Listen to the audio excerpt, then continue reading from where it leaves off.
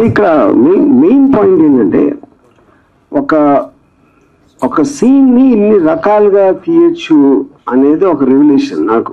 Even as a director of so many years experience అంటే ప్రతి person ఒక different view point location కానీ characters కానీ interpretation of the scene content కాస్టింగ్లో ఎలాంటి performances uh, ఒక కొత్తగా జాయిన్ అవుతున్న అతని ఆ ఇంటర్ప్రిటేషన్స్ అనేది ఇప్పుడు ఇందులో కొంతమందికి కొన్ని నచ్చచ్చు ఇంకొంతమందికి వేరే నచ్చచ్చు అలా రకరకాల వ్యూ పాయింట్స్లో సినిమా లాగే ఉండొచ్చు. ఒకళ్ళు ఒక సినిమా నచ్చచ్చు ఇంకోటి నచ్చకపోవచ్చు. But the bottom line is like the interpretation I think is fascinating so ఇప్పుడు దీంతో మనకు కూడా అర్థమైందంటే ఏ సినిమా అయినా ఎన్ని రకాలుగా అయినా తీయచ్చు. ఇది ఇలాగే తీయాలని లేదు. అది అది అదొకటి చాలా క్లియర్ కట్గా I think understand ya so like I said ఇప్పుడు ఈ ఓటింగ్ ప్రాసెస్ అనేది స్టార్ట్ అయ్యి నెక్స్ట్ టెన్ డేస్లో we will get the final selected director so which which will obviously announce at that time so any questions hello sir Arjun garu ya ఇంతమందిని introduce చేస్తున్నారు కదా. అంటే RGV నుంచి అంటే ఏం ఎక్స్పెక్ట్ చేయొచ్చు వీళ్ళ నుంచి అంటే ఏం చెప్తారు సార్? ఆర్జీవి ఆర్జీ నుంచి ఎక్స్పెక్టేషన్ ఆడ నుంచి ఎక్స్పెక్టేషన్ నా నుంచి ఉంది ఎక్స్పెక్టేషన్ ఇక్కడ అంటే ఆర్జీవి ఏం ఎక్స్పెక్ట్ చేస్తారు see I think the point is ఇప్పుడు ఇప్పుడు ఒక డైరెక్టర్ అనే దానికి డెఫినేషన్ ఉన్న కంటెంట్ని తన పర్ఫార్మెన్సెస్తో ఒక కటింగ్తో ఎడిటింగ్ ఎలా చేశారు ఎలాగా కంటెంట్ని ఒక ఎమోషనల్గా కన్వే చేశారు అనేది టెస్టింగ్ అది. సో ఆ టెస్ట్ ప్రూవ్ అయినప్పుడు ఒక సీన్ బాగా తీయగలిగితే automatically everything is a function of the script దాని తర్వాత అదే దాన్ని వేరే ఆట కూడా అప్లై చేస్తారు. సో మనం పాత రోజుల్లో ఏంటంటే ఒకళ్ళకి డైరెక్షన్ ఛాన్స్ ఇచ్చి మొత్తం సినిమా తీసేవరకు తెలియదు ఎలా తీసేయడం. ఇప్పుడు ఈ కాన్సెప్ట్ ఏంటంటే we can test in by the scene తనకు ఉన్నది. అంటే అంత అంత సింప్లిస్టిక్ థింగ్ కూడా nobody thought of before ya అంటే ఏదైనా సబ్జెక్ట్ని రకరకాలుగా తీయొచ్చు అని ఇప్పుడు పాయింట్ ఇప్పుడు దీంట్లో వాళ్ళు ఎన్నుకున్న విధానంలో ఒకడు చాలా డార్క్గా సీరియస్గా తీసి ఉండొచ్చు. ఇంకొక కొంచెం ఒక హ్యూమర్ మిక్స్ చేసి ఉండొచ్చు. ఇంకొక అతను ఏదన్నా కొంచెం అన్ఎక్స్పెక్టెడ్ లేయర్స్ అంటే ఇప్పుడు లాస్ట్ దాంట్లో ఒక సాంగ్ రావటం మధ్యలో అంటే ఉన్న కంటెంట్లో ఎంత మీరు వేరియేషన్ తీసుకురావటం అనేది ఈచ్ డైరెక్టర్ ఇంటర్ప్రిటేషన్ బట్టి ఉంటది.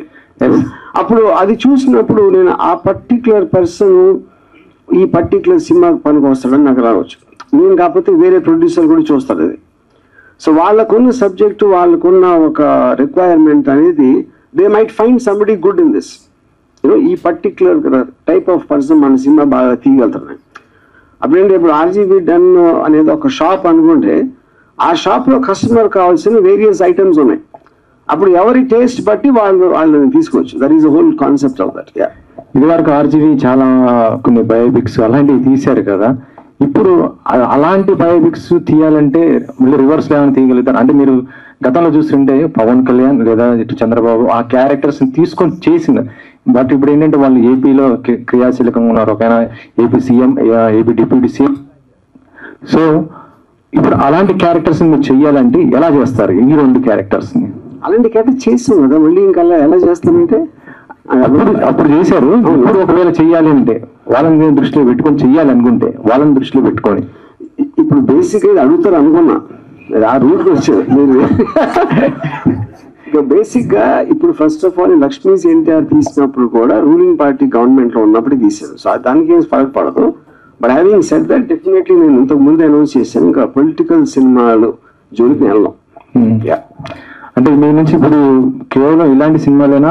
ఒకప్పుడు ఆర్జీవి అంటే బాలీవుడ్లో ఒక పాపులర్ అయిన డైరెక్టర్ ప్రతి ఒక్కరికి కదా? అంటే ఇలాంటి సినిమాలు అంటే ఏంటి అంటే ఇప్పుడు ఇప్పుడు ఇప్పుడు ఈ జనరల్ క్వశ్చన్స్ వేరే ఇంటర్వ్యూ మాట్లాడదాం. ఇది I want talk about your film ఇక్కడ. అది మాట్లాడటం చాలా టైం ఉంది మనకి. ఆర్జీవి ఆర్జీవి ప్రిన్సిపల్ గారికి సో చాలా మంది శిష్యులను తయారు చేయబోతున్నారు అనేది తెలిసిపోయింది. అయితే ఈ గతంలో మిమ్మల్ని నమ్ముకున్న వాళ్ళు బాగుపడ్డారు మిమ్మల్ని నమ్ముకున్న వాళ్ళు కొంత పోయారు. సినిమాకి సంబంధించి మీరు ఏదైతే తీసి అంటే నేర్పిస్తున్నారో ఇంతమంది యువకులను దర్శకులుగా మార్చే ప్రయత్నం చేస్తున్నారు. కానీ వాళ్ళు సినిమా తీసిన తర్వాత ఇండస్ట్రీలో పడే స్ట్రగుల్స్ మామూలుగా ఉండవు కొత్త దర్శకులకు సంబంధించి. వాళ్ళ టాలెంట్ ఎంత ఉన్నా మీరు ఎంత గుర్తించినా ఇండస్ట్రీలో వాళ్ళని గుర్తించే వాళ్ళు చాలా కరువు అవుతున్నారు. సో దానికి మీ సమాధానం ఏంటి? ఫస్ట్ ఆఫ్ ఆల్ అది అది చాలా నోషనల్ ఆర్గ్యుమెంట్ ఇప్పుడు అవి ఎవరైనా సరే వాళ్ళకు వాళ్ళకున్న అంతమంది కోరుకునే ఒక పొజిషన్కి ఆటోమేటిక్గా సక్సెస్ అయ్యే వాళ్ళు తక్కువ ఉంటారు. The higher you want to go the obviously the more difficult it is to sustain అది వాళ్ళ వాళ్ళకున్న కెపాసిటీ బట్టి వాళ్ళని జనాలు ఎంత రిసీవ్ చేసుకుంటారో దాన్ని బట్టి ఉంటుంది. So you can speculate on that మీరు డైరెక్టర్ ఫస్ట్ డైరెక్షన్ షాట్ పెట్టినప్పుడు సో మీకు మీ అంటే మీ మనస్థితి ఎలా ఉండేది? ఇప్పుడు వీళ్ళు అంతమందిని చూసిన తర్వాత సో వీళ్ళు ఏ టైప్ ఆఫ్ ఏ ఏ- ఎట్లా ఉంటున్నారు? ఈ ఈ తరం దర్శకుల ఆలోచనలు ఏ విధంగా ఉన్నాయి? అప్పుడు మీ అప్పుడు ఎలా ఉండేది. ఇప్పుడు ఎలా మారుతూ వస్తుంది? సి ఫిల్మ్ అనేది ఎవెన్చువల్లీ ఎమోషనల్ ఆస్పెక్ట్ మీరు అంటే క్యారెక్టర్స్ అనేవాళ్ళు టైమ్లెస్ ఇప్పుడు గాడ్ ఫాదర్ లాంటి సినిమా మనం ఫిఫ్టీ ఇయర్స్ నుంచి చూస్తున్నా అది పాతది ఎందుకు అనిపించదు? Because the characters look as real as ever ఇంకా హ్యూమన్ బీయింగ్స్ ఎమోషన్స్ అనేది మారదు మీ క్యాప్చర్ చేసే టెక్నాలజీ మారుతుంది. యూనో కానీ ఆ బేసిక్ క్రియేటివ్ అనేది మనం గుర్తించగలిగినప్పుడు ఇప్పుడు నేను ఒక నేరేట్ చేసినప్పుడు Shiva obviously Annapurna studios production house కాబట్టి వాళ్ళు నాకు వసతులు కల్పించారు. ఎలా నా విజన్ని నేను తీసుకెళ్ళాలి? ఏంటి? అని అనేది. యూనో సో ఇప్పుడు కానీ నేను ఫస్ట్ వాళ్ళని ఇంప్రెస్ అయినప్పుడు నేను కూడా ఈ సీన్లో ఉన్నాను కదా. నేను ఆ సీన్ కూడా తీసి చూపెట్టలేదు. జస్ట్ నేరేషన్తో నేను ఇంప్రెస్ చేయగలిగాను. ఇప్పుడు మనకి టెక్నాలజీ అనేది ఇంత అడ్వాంటేజ్ ఇచ్చేసి ఈ సీన్ తీయటానికి ఖర్చు లేకుండా ఇప్పుడు దీంట్లో కొన్ని సెల్ ఫోన్తో తీసిన సినిమాలు ఉన్నాయి కొన్ని మేబీ ఫైవ్ డియర్ లేకపోతే సోనీ ఎఫెక్ట్స్ అలా అలాంటి వాటితో తీసి ఏ మాత్రం అంటే ఐదు ఆరుగురు యూనిట్లు ఉండే అలాంటి అలా తీసేది సినిమా. దాంతో మనకు ఈ ఆస్పెక్ట్స్ అనేది ఏది మనం ఇంప్రెస్ అయిందని తెలిసినప్పుడు అప్పుడు you can interact with that person and take it ahead అది ఇప్పుడు అవి ఎప్పుడో ఒకళ్ళు ఇద్దరు ఒక కోయిన్సిడెంటల్గా దొరకటానికి ఒక పద్ధతి ప్రకారం ఆర్జీబీ లో ఇంత టాలెంట్ అక్యుములేట్ అయి అయి ఉన్నప్పుడు ఆటోమేటిక్గా మీకు ఇందాక నేను చెప్పిన షాప్ ఎగ్జాంపుల్ అది. యా అది సేమ్ థింగ్ మ్యూజిక్ డైరెక్టర్స్కి అవుతుంది సినిమాటోగ్రాఫర్స్కి అవుతుంది అందరికి అవుతుంది. యా.